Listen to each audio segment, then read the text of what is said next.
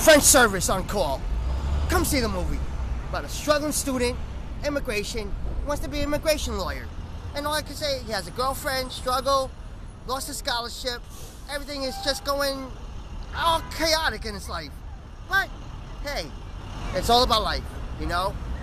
You understand? It's about the faith, the value of life, and all you can do is, ah, it's a beautiful day, and why am I working?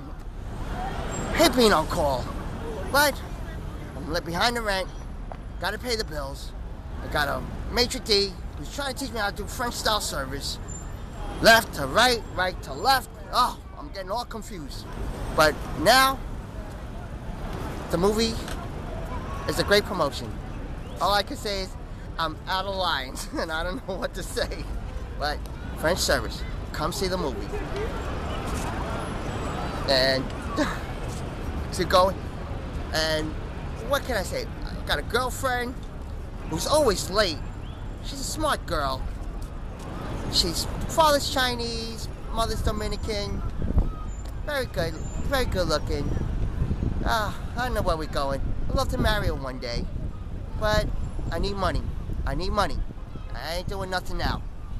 So right now, I'm just a banquet server on a call. That's all I can say.